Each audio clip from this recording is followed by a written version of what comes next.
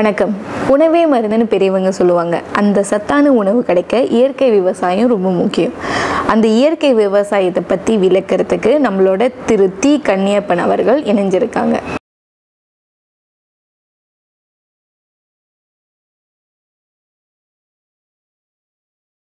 எல்லாம் வந்திருக்கும் எல்லாத்துக்கும் வணக்கம். இது வெபினார் வணக்கம். இயற்கை விவசாயம்.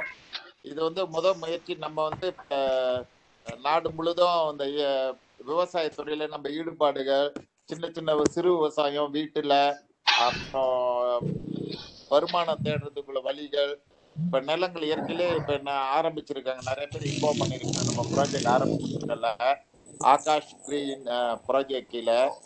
இப்ப அவர் சிவா கொஞ்சம் அது விளக்குவாரு. என்ன நெகட்டிவ்னு அது முடிஞ்சு அதை ஆரம்பிச்சு வச்சோடனே அப்புறம் அவரு இந்த கன்னிப்பண்ணு இங்க இருக்கிறது வந்துட்டு அவர் ஜோஹர்ல இருக்காரு. விவசாயத்துறையில வந்து நாடு முழுதுல ஒரு உலகம் முழுதும் பல நாடுகளுக்கு சென்று வந்தவர்.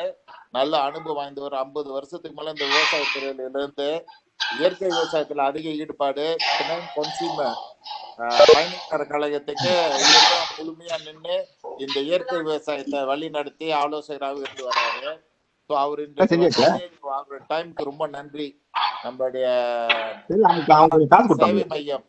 அந்த பையன் கொஞ்சம் காசு கொடுத்தாங்க இந்த மகா சேவை மையத்தோட வே நேரம் வந்துட்டு மக்களுக்கு உபரி வருமானத்தையும் வாழ்க்கையில அடுத்த கட்டத்தை அரசாங்கத்தையும் நம்பி இல்லாம தன் சுய சார்பு உள்ள ஒரு மக்கள் உருவாக்குறது தான் இந்த மகா சேவை மையத்தோட இது. சொன்னா நிலம் வந்து சுத்தமா இருக்கும் புல்லு இருக்காது. பார்க்க நீட்டா இருக்கும். இது இது ரெண்டாவது வகை. மூணாவது வகை வந்து என்னன்னு கேட்டீங்கன்னா ஒரு கம்பு அடிச்சு அதுக்கு மேல அந்த வெள்ளை பாலிசின் ப பெட்டி இருக்குல்ல? அதில் கூட மண்ணு போட்டு அது வைப்பாங்க. அப்போ கீழே வந்து புட்டு ஒன்றும் செய்ய வேண்டாம். அது பாட்டு புட்டாக தான் இருக்கும். பயிர் வந்து மேலேயே இருக்கும். அது வந்து கொடி வகை பயிரெல்லாம் அப்படி ஏற்றிக்கலாம் ம். கொடி வகைனா பந்தல் போட்டுட்டு அங்கங்க பெட்டி வச்சு அது மேல அது உள்ள பயிர் வச்சு ஏத்திக்கலாம் ஆனா அதெல்லாம் வந்து ஒரு ஒரு முறை தான். ரெண்டாவது முறை மண்ணு மாத்தி ஆகணும் இப்ப இந்த? கொடி போறேன்னு வச்சுக்கோங்க கொடி போறது அப்படியே மேலேயே ஈத்து இது இழுத்து விட்டுருமா குச்சி வச்சு? ஆமா அதை வந்து அது வந்து அந்த மாதிரி செய்யறா இருந்தா. இப்ப நம்ம நாங்க இப்ப என்ன செய்யறோம்னா கொடியெல்லாம் வந்து மேல பந்தல் அந்த அந்த காலத்துல அவரை பந்தல் போட்டாங்கல்ல. அந்த மாதிரி அந்த மாதிரிலாம் போறது இல்ல. எல்லாம் வந்து சைட் சைடு பந்தல் தான். சைடுனா இப்ப வேலி அடிக்கிற மாதிரி நீட்டா அடிச்சிட வேண்டியது. அடிச்சுட்டு அதில் ஏற்றி விடுறது தான். அப்ப நம்ம நடப்பாதை நீட்டா இருக்கும். ரெண்டு சைட்லயும் காய் பொங்கும் ஆமா வெர்டிக்கல் ஃபார்ம் இதுன்னு சொல்லுவானுங்க. அதை நேரா நிப்பாட்டிட்டு ஆமா. ஏத்தி விட்டுறது கம்பி அடிக்கணுங்களா அந்த காலத்துல வந்து பயத்தங்காய் இதெல்லாம் போடுவாங்கல்ல. கம்பு கம்பு. அந்த மாதிரி. இருக்கு. ஆமா இப்ப நம்ம என்ன செய்யறோம்னா நீட்டா நீட்டா ஃபென்சிங் பார்க்காத மாதிரி நீட்டா எடுத்துட்டோம்னா ரெண்டு பக்கமும் வந்து கொஞ்சம் கொடி ஏறும். அப்ப காய் அறுக்க வசதி பராமரிக்க வசதி பூச்சி மருந்து அடிக்கிறதுக்கு வசதி. அந்த மாதிரி நம்ம எந்த மாதிரி வைக்கிறோம் மண்ணு பொறுத்து தான் இருக்கு எந்த மாதிரி செய்ய போறோம்? முதல் என்ன பயிர் வைக்க போறோம்? அதை முதல் டிசைட் பண்ண அது பயிர் வச்சு மூணு மாசத்துக்கு பிறகு மார்க்கெட்ல என்ன விலைக்கு போகும் ஆ. அதையும் நம்ம பார்க்கணும். அந்த அந்த பயிர்களுக்குள்ள இது மாதிரி. ஆமா. ஏன்னா சீரனுக்கு சீரனுக்கு வந்து பெரும்பாலும் என்ன மூணு மாசத்துக்கு அங்கிட்டு என்னென்ன பயிர் பயிர் வந்து விலை இருக்கு அப்படின்னு முன்கூட்டியே முடிவு பண்ணிடுறானுங்க. ஆ, பண்ணிட்டு தான் அவங்க பயிர் வைக்கிறானுங்க. இல்லைன்னா மலிவா இருந்தா நஷ்டம் தானே ஆமா. ஆஹ் ஓகே சார் விதையை வந்து பாலிபேக்கில் போடுறதுக்கும் மண்ணில் நேரடியாக பயிரிடுறதுக்கும் என்ன வித்தியாசம்? நீங்கள் பாலிபேக்கில் போட்டிங்கன்னா மண்ணுக்கு வந்து அது அதுதான் சொல்றீங்க இப்ப பாருங்க போலி பேக்ல போடுறத பத்தி முதல் பேசுறேன். நீங்க போலி பேக்ல போட்டீங்கன்னா அந்த மண்ணோட உயிர் சத்து மூன்று மாதத்துக்கு தான் இருக்கும். விளங்குதுங்களா ஆ சரி சரி கேக்குது. ஆ கேக்குது. ஓகே நன்றி. அந்த போலி பேக்ல நீங்க பயிர் வைக்கிறத பத்தி ஆச்சரியம் கிடையாது. ஆனா குறி மூணு மாசத்துக்கு பிறகு நீங்க அந்த மண்ணை மாத்தி ஆகணும் ஐயா. சரி அதே வாட்டி அந்த நம்ம அந்த போலி பேக்ல வந்து ட்ரிப்பர் இருப்பாங்க. ட்ரிப்பர் போட்டு நம்ம அதுக்கு ஃபெர்டிலைசர் எல்லாம் ட்ரிப்பர்ல போடுறோம். அது எப்படி? இல்ல அதெல்லாம் செய்யலாம். நீங்க அதெல்லாம் செய்யலாம். ஓ அந்த மண்ணுக்கு வேண்டியது தண்ணியை வந்து சொட்டு நீர் மூலமா கொடுக்கலாம். அந்த சொட்டு நீர் மூலமாக நீங்க வந்து ஊட்டச்சத்து உரங்களை நீங்க கொடுக்கலாம். எதுவுமே தப்பு இல்லை. எல்லாம் செய்யலாம். ஆனா அந்த உள்ள மண்ணுக்கு வந்து இயற்கையான உள்ள அந்த காத்தழுத்தங்கள் இயற்கையான முறையில் உள்ளது எதுவுமே அது வந்து பற்றாக்குறையா தான் இருக்கும். நீங்க நேரடியா பூமியில நட்டு அதே மாதிரி என்னென்ன தண்ணி சொட்டு நீர் நீங்க ஊட்டச்சத்து உரங்கள் இதெல்லாம் கொடுக்கும்போது இன்னும் செழிப்பா இருக்கும். அப்ப அது நிரந்தரமான உள்ளது. இதான் என் வித்தியாசம். இப்ப இயற்கையான முறையில சாதாரண மண்ணுல நீங்க ப்ளவ் பண்ணி நீங்க பயிர் வைக்கும்போது என்ன வித்தியாசம்னு கேட்டீங்கன்னா களை செடி வரும். மண்ணில் நீங்க வச்சீங்கன்னா சைட் நம்ம வேண்டாத செடி புண்டு இதெல்லாம் வரும். அப்போ அவன் வந்து போலி பேக்கில் வைக்கும்போது அந்த பிரச்சனை இருக்காது. அதுக்கு தான் போலி பேக்கில் வைக்கிறாங்க. ஆனா அந்த களை செடி வரும்போது அந்த களை எடுத்துட்டோம்னா இன்னும் நல்ல ஊட்டச்சத்து இருக்கும் அந்த களை எடுக்க தான் இப்போ இப்போ நவீனமா என்ன செய்யறாங்க இந்த மெலிதாக உள்ள பிளாஸ்டிக் பைப் போட்டு மூடிடுறாங்க. மூடிட்டாக்க அந்த களை செடின்றது வராது. ஓகே சார் வீட்டு தோட்டத்தை பற்றி உங்களோட கருத்து என்ன? நம்ம வந்து வீட்டு தோட்டம்னு சொல்லுவோம். ஒவ்வொரு வீட்டுக்கு அவங்க சொந்தமா நிலம் இருக்காது. ஆனா வீட்டுல வந்து ஏராளமான இடம் இருக்கும். அந்த இடங்கள்ல வந்து அவங்க ஆஹ், சின்ன சின்ன பாஸ்ல அல்லது ரீசைக்கிள் என்னென்ன பாத்திரங்கள் முடியுமோ அதெல்லாம் அவங்க வந்து பயிர் வைக்கலாம் ஐயா. ஆமா. அப்படி பயிர் வைக்கும்போது அவங்க வீட்டுக்கு தேவையான பொருள் மட்டும் அவங்க பயிர் வச்சுக்கலாம் ஆமா. சரிங்களா? அடுத்து அவங்களுக்கு நிலம் இருக்கு. நிலம் இருக்குன்னு சொன்னா அவங்க வந்து வியாபார ரீதியில பயிர் வைக்கலாம். அப்ப வியாபார ரீதியில் அவங்க பயிர் வைக்க போறாங்கன்னா அந்த வட்டாரத்துல வந்து என்னென்ன காய்கறிகள் வந்து விற்பனைக்கு நம்ம கொடுக்கலாம்?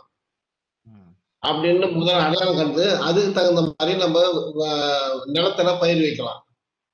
அப்படி நிலத்துல பயிர் வைக்கும் போது இப்ப கீரைகள்லாம் கேட்டீங்கன்னா மூணு மாசத்துக்கு ஒரு முறை மாத்தி மாத்தி பயிர் வச்சுக்கிட்டு இருக்கணும் ம். இப்ப கத்திரிக்காய் வெண்டைக்காய் காய்கள்லாம் வந்து ஒரு ஆறு மாத பயிர் தான் அப்ப நிரந்தரமான பயிர் நம்ம வைக்கிறாங்க. தவசு முருகெல்லாம் வச்சோம்னா ஒரு ரெண்டு வருஷத்துக்கெல்லாம் வந்து நம்ம அறுவடை மட்டும் பண்ணிக்கலாம்.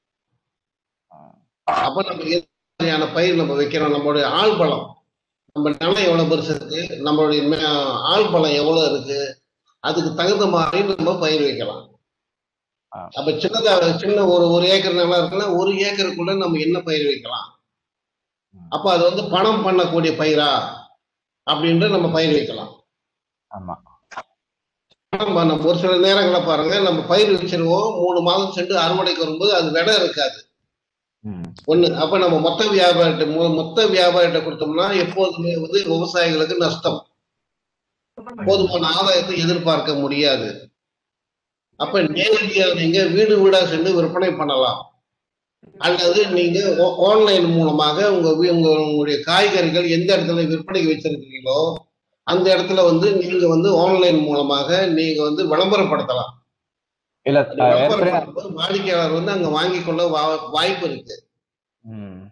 அப்ப நீங்க நீங்க விவசாயம் பண்றது முதல்ல வந்து மக்களுக்கு ஏற்புடையது என்னன்னு கேட்டீங்கன்னா இயற்கை விவசாயம் தான். ரசாயனம் எல்லா இடத்துலயும் வாங்கிக்குவாங்க. ஆனா இயற்கை விவசாயத்துக்கு நீங்க மாறி நீங்க இயற்கை விவசாயம் பண்ணாதான் மக்கள் வந்து அதிகமா வந்து வாங்குவாங்க. இன்னைக்கு எல்லாரும் தேடிட்டு இருக்காங்க. இயற்கையான முறையில விவசாயம் பண்ண காய்கறிகள் கிடைக்குமா அப்படின்ட்டு. நம்மளோட இலக்கு அதுதான். நம்ம என்ன நினைக்க எதிர்பார்க்கிறோம்னா இந்த டிஸ்கஷன் வந்து எப்படி இருக்கணும்னா இந்த மூன்றையும் வலிமைப்படுத்தக்கூடிய சிந்தனைகளை நம்ம வைக்கணும். சரி. அடுத்து நம்ம இயற்கை விவசாயத்துக்கு ஒரு தனி பிராண்டட்டை கிரியேட் பண்ணணும். எல்லாரும் ஒரே மாதிரியான பிராண்டட்டை கிரியேட் பண்றக்கூடிய சிந்தனையை நம்ம இங்க வைக்கணும். சரி. அடுத்த சிந்தனை வந்து இந்த கொமர்ஷியல் விவசாயத்துல நமக்கு வெளியில இருந்து என்னென்ன வாய்ப்புகள் அரசாங்க வாய்ப்புகள் இன்னமும் நமக்கு இருந்துகிட்டு இருக்குன்ற தகவல்களை சேகரித்து அதை சொல்ற ஊடகமா நம்ம மாறணும். சரி.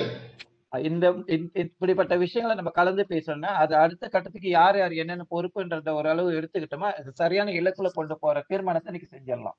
சரி. அரசாங்கம் வந்து இன்ன வரைக்கும் காத்துக்கிட்டு இருக்கு. விவசாயிகள் அவங்க கிட்ட என்ன என்ன என்னென்ன வந்து கேட்பாங்கன்னா அவங்க கொடுக்கறதுக்கு அவங்க காத்துக்கிட்டு இருக்காங்க ஐயா இது ஒண்ணு. அப்படி அரசாங்கம் வந்து உங்களுக்கு வந்து உதவி செய்யணும்னா உங்க நிலம் வந்து உங்களோட சொந்த நிலமா இருக்கணும் ஒன்று. அடுத்து வந்து வேற ஆட்டு நிலத்தை நீங்க குத்தகைக்கு எடுத்து அக்ரிமெண்ட் இருக்கணும். இது ரெண்டு தான் அவங்க எதிர்பார்க்கறாங்க. அப்படி எதிர்பார்த்துட்ட பிறகு உங்களுக்கு என்ன தேவை அப்படின்ற இந்த இந்த அவரசமே உங்க வட்டாரத்துல உள்ள விவசாய இலாகா பிரத்தானியான்னு சொல்லுவாங்க. உங்க வட்டாரத்துல உள்ள அவங்க கிட்ட போயிட்டு நீங்க மனு கொடுக்கணும். உங்க நீங்க எனக்கு என்னென்ன தேவை அப்படின்ட்டு உங்க நிலத்தை படம் பிடிச்சு அந்த எக்ரிமெண்ட் வந்து என்ன பண்ணிருக்கீங்க உங்க சொந்த நிலமா அப்படின்றத பொறுத்து நீங்க உங்களுக்கு என்ன தேவை அப்படின்ட்டு நீங்க ஒரு மனு கொடுக்கணும். இந்த வருஷம் கொடுத்தாதான் உங்களுக்கு அடுத்த வருஷம் அது வந்து கிடைக்கும். அப்படி என்னென்ன கிடைக்கும் அப்படின்னா விவசாயம் சம்பந்தப்பட்ட மம்முட்டியில இருந்து தண்டு வண்டியில இருந்து உங்களுக்கு பம்பு கேணி குளம் குளம் வச்சிருக்கேன். குளத்துல இருந்து தண்ணி மேலே எடுத்து கொண்டு வரணும்னு பம்ப் செட் கொடுப்பாங்க. உங்களுக்கு சுற்றி வேலி நிலத்துல வேலி அடிக்கிறதுக்காக அந்த கான்கிரீட் தீயம் கொடுப்பாங்க. வேலி கொடுப்பாங்க. பைப் பைப் வந்து சொட்டு நீர் மூலமா ஸ்ப்ரிங்கர் மூலியமாக நீங்க ச- தயார் பண்றீங்கன்னா அதுக்குள்ள உபகார பொருட்களை கொடுப்பாங்க. ஆனா நமக்கு அது ஒன்றும் தெரியல. ஆனா நாங்களாம் அதை வாங்கியிருக்கிறோம்.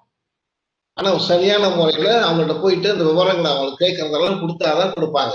இன்னைக்கு கேட்டு இன்னைக்கு கொடுக்க மாட்டாங்க. ஏன்னா அவங்களுக்கு ஒரு ஒரு முறை இருக்கு. என்னென்ன வந்து நாங்க மனு கொடுத்துருக்காங்க விவசாயிகள் அது அவங்க மேல் மட்டத்துக்கு கொண்டு போயிட்டு அவங்க பேசி அடுத்த வருஷம் தான் எப்ரூவ் போறோம். அது வரைக்கும் நம்ம பொறுத்தவரை இல்லையா? அல்லது அதுக்கு நம்ம விவசாயம் செஞ்சுக்கிட்டு இருக்கலாம்.